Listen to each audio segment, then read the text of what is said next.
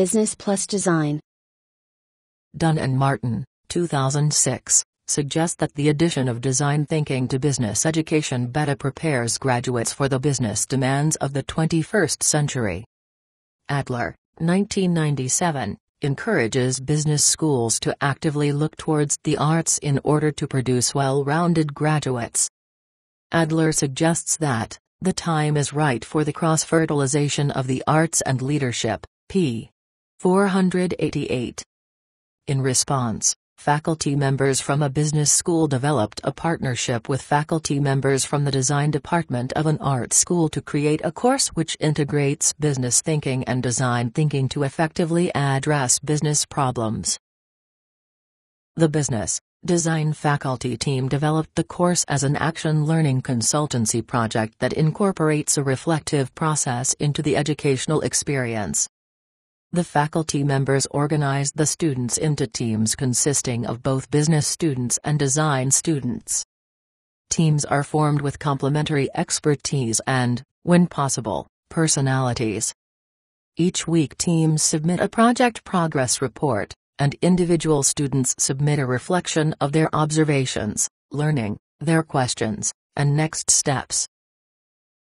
The faculty team plans mini lectures, presentations, and workshops by the faculty, clients, and successful, innovative business and design guest speakers. Sessions address presentation skills, business metrics, marketing principles, strategy, project management, finance principles, cost analysis, corporate culture, innovation, design principles, design feasibility, and power issues. Additionally, Business students and design students teach each other the essentials of their respective disciplines. Student teams begin the project by developing and executing a research agenda that involves traditional and innovative approaches to understand both the clients and the issues under study.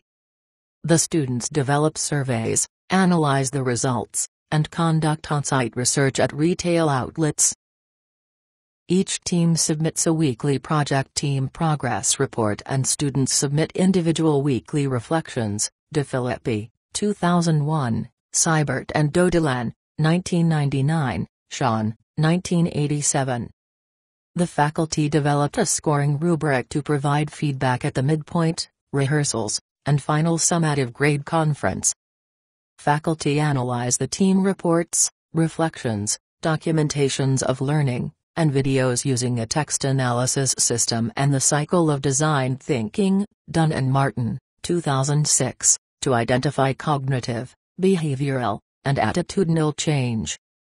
Faculty assess student learning through evaluation of presentations, PowerPoint slide decks, reflections, documentation of learning, and team assessment.